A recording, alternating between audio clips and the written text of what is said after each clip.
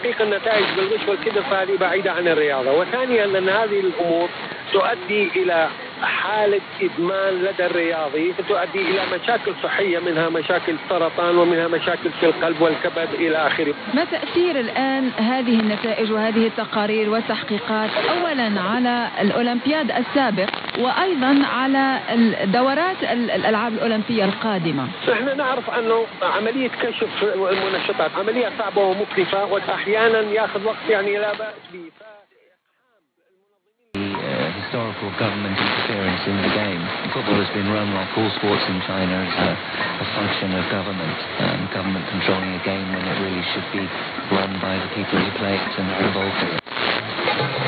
BBC Extra English on BBC Extra.